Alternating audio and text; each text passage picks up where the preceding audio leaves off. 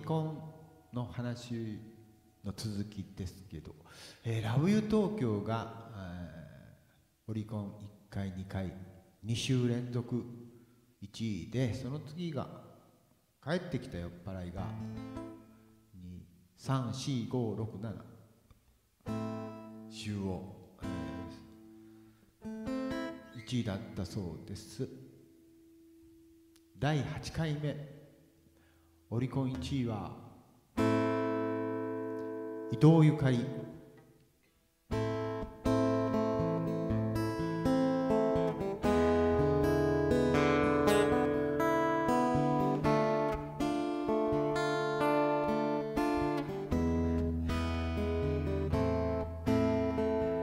肩を濡らす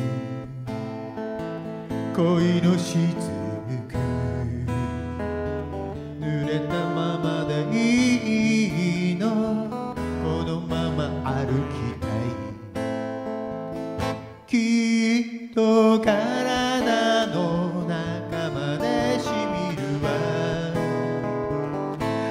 してあなたのあなたの言葉を忘れないようにしていろ。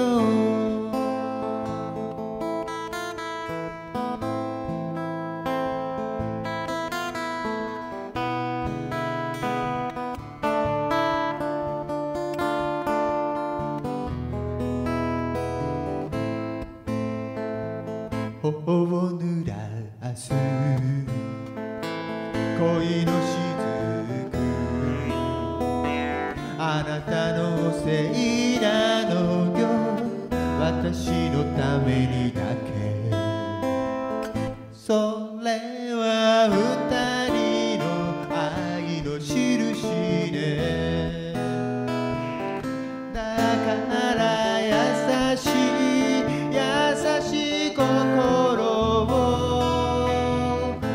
じっと抱きしめていたいの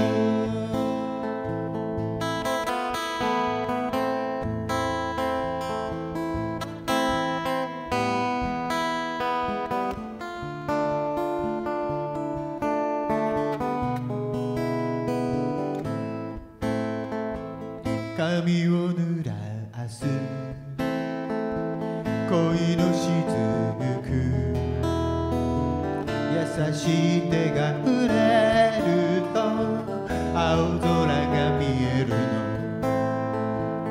そうよあなたは。